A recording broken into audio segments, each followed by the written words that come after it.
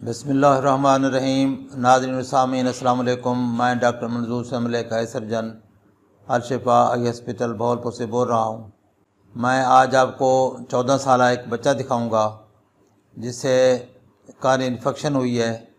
Car infection के साथ इसको अंदर पीप चली गई है एंडोथलमेटिस हो गया है, और एंडोथलमेटिस के साथ इसको हाइपोपैन भी है और अब इसकी नज़र ज़ाय हो गई है। तो इस बच्चे को एक्चुअली चोट लगी थी। चोट लगने से इसको कान परफरेशन हुई। देहात का बच्चा है। ये खेलते हुए, देहात में काम करते हुए इसको लकड़ी का जो है, वो एक दरख्त का कांटा लगा था। कांटा आँख में चुभा। इन्होंने टाइम पे इलाज नहीं किया। लेट इलाज कराया और वो भी कहीं कोएप्स वगैरह के पास देहात में इलाज कराते रहे। जब मेरे पास पहुँचे तो इनको एंडोफ्थलमेटस हो चुका था। आप एंटी चैम्बर में इसकी पस भी देख सकते हैं, हाइपोपियान भी है एंडोफ्थलमेटस है।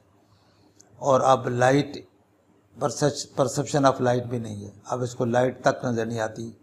नज़र इसकी तकरीबन ज़ाय हो चुकी है। तो अब इसका हम इलाज जो करेंगे ऑफ़ कोर्स हम ट्राई करेंगे एंटीबायोटिक्स वगैरह टॉपिकल ड्रॉप्स वगैरह। और इंजेक्टेबल भी देंगे, कोशिश करेंगे ताकि इसका कुछ आई का जो साइज़ है वो बच जाए। लेकिन चूँकि इन्फेक्शन अस्टेब्लिश हो चुकी है एंडोफ्थलमेटिस हो चुका है लाइट परसेप्शन भी नहीं है, अब इसके लिए सिवाय हम ये एंटीबायोटिक ड्राफ्स और इंजेक्शन वगैरह देने के, इस स्टेज पे और कुछ नहीं कर सकते। लेकिन अब जो इसका जो अल्टीमेट फेट होगा, वो ये होगा कि आँख जो है, ये पस जब डिज़ाल्व होगी तो सुकड़ेगी तो आँख श्रंक हो जाएगी और ये थैसिस थैसिकल हो जाएगी श्रंका नहीं हो जाएगी, पिचक जाएगी आँख। तो अब इस तरह के केसेस में फिर हम इनको एडवाइज़ करते हैं कि आप आँख की सफ़ाई करवाएँ, पस वस सारी साफ़ करके इसके अंदर गोली रख देते हैं। गोली रखने के बाद इस पर आर्टिफिशियल ही लग जाती है। तो उससे यह कि कॉस्मेटिक इम्प्रूवमेंट हो जाती है।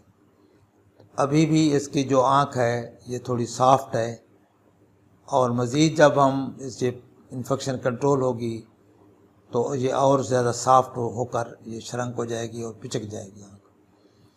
तो ये केस प्रेजेंट करने का, आपको बताने का मकसद ये है कि इसका इलाज बर वक्त नहीं हुआ। अगर इसका इलाज बर वक्त हो जाता, जैसे इसको कांटा लगा था उस वक्त ये इलाज कराते हैं तो हो सकता है इसकी नज़र भी बच जाती और आँख भी बच जाती है ऑफकोर्स तो उस वक्त अगर हम इसको एंटीबायोटिक्स इंजेक्शन और कतरे और इवन सब कंजेक्टेबल इंजेक्शन लगा देते एंटीबायोटिक्स का तो हो सकता है कि ये नज़र इसकी उस वक्त बच जाती.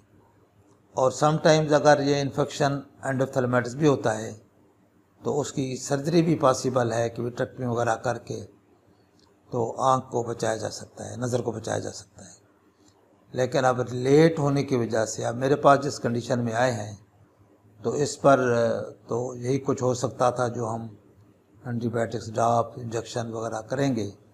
और फर्दर जो इसकी जो फेट है, वो मैंने अब इन्हें भी बता दिया है और आपको भी एक्सप्लेन कर रहा हूँ कि लेट होने की वजह से फिर नज़र भी ज़ाय होती है और आँख भी ज़्यादा हो जाती है।